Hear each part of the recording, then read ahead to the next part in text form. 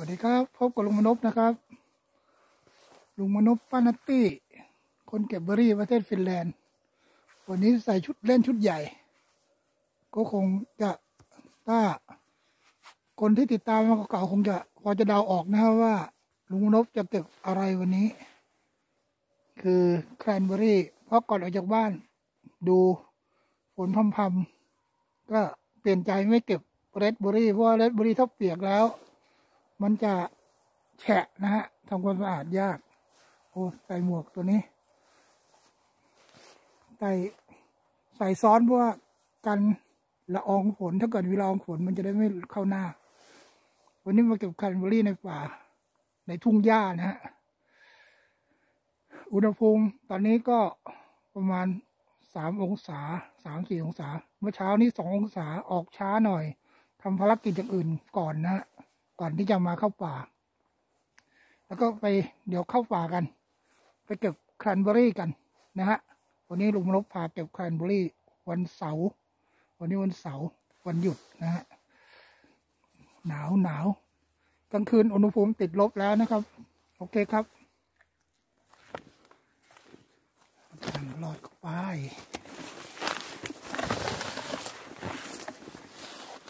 การเข้า ป่าเก็บแครนเบอรี่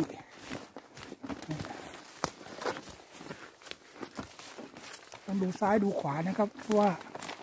ป่าแครนเบอรี่ จะมีหมีนะฮะหมีมันส่วนใหญ่จะเป็นแม่ลูกอ่อนด้วย จะพาลูกมาหากินแครนเบอรี่นะฮะลูกแครนเบอรี่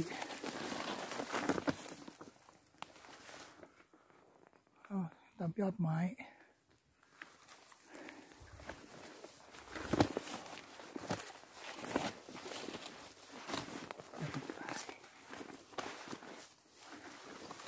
ดงหญ้า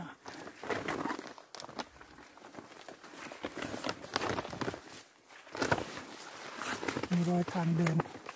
เราเป็นคนเดินเอาไว้เองทุกวันบ่อยๆบ่อยๆตามภาพ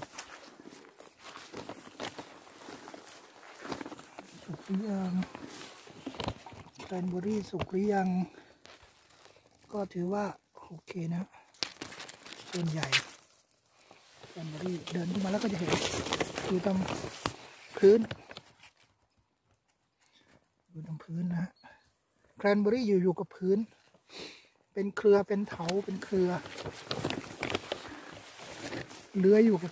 พื้นแล้วก็อยู่ใต้เฟืนเดี๋ยวดู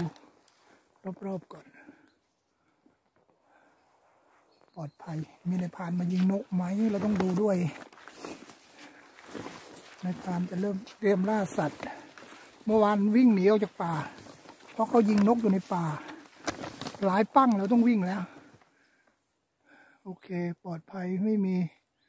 สิ่งมีชีวิตอื่นนอกจากเรา หงก็ไม่อยู่นะธรรมดาจะมีหงอยู่ หงเป็นฝูงเลยปีกายนี่มีลูกประมาณห้าหกตัวนะโอ้โหงฝูงหนึ่งแม่ลูกอ่อนใส่อบเริ่มอพยพ พออากาศหนาวปุ๊บ นกต่างๆ จะบินอพยพลงใต้นะฮะไปทางภาคใต้ดูแกรนเบอรี่กันดีกว่านะครับลุงมนพกับป้านัตตี้คนเก็บเบอรี่ประเทศฟินแลนด์ วันทำงานก็ไปทำงานวันนี้ป้านัตตี้เข้าเวรเช้านะตั้งแต่เจ็ดโมงเช้าเลยก็พอมีอยู่ ก็มีให้ได้เก็บได้บ้าง อันนี้ก็ถี่เหมือนกันเนี่ยแครนเบอรี่นะฮะ จะอยู่กับกับพื้นอย่างนี้เลย ถ้าสีแดงสดๆอยู่ชาวบ้านถือว่าเขายังไม่เก็บนะ เพราะว่ามันเขาบอกว่ายังไม่สุก ต้องรอให้เป็นสีคล้ำๆสีคล้ำๆดำๆมองนิดนิดนึงคล้ำๆดำๆแต่เขาจะรอให้มันเป็นน้ำแข็งก่อน ให้กลางคืนติดลบประมาณ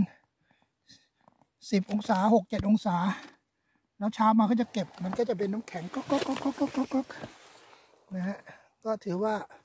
ประชากรพอมีถือว่าพอได้เก็บนะครับลุงมนกก็จะลงมือเก็บละตอนบ่ายเยอะกลับไปรับปนัดออกเวรก็จะเข้าป่าต่อไปว่าจะเก็บแครนเบอรี่หรือ red berry ก็ว่ากันไป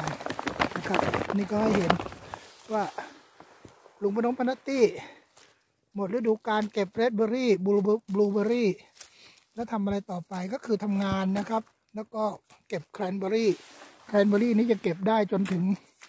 จนกว่าหิมะจะตกปกคลุมจนเรามองไม่เห็น หรือว่ามันเป็นน้ำแข็งพื้นเป็นน้ำแข็งหมดแล้วเราเอานิ้วมืองัดไม่ไหว บางปีใช้ส้อมนะส้อมกินอาหารเนี่ย แทงลงไปแล้วก็งัดขึ้นขุดขุดขุดเอานะครับ ครับขอบคุณที่เข้ามารับชมนะครับ อย่าลืมกดไลค์กดแชร์ กดติดตาม กดกระดิ่งนะฮะ กด subscribe ด้วยนะครับ เพื่อจะดูคลิปต่อๆไปลุงนพจะเก็บไปจนถึง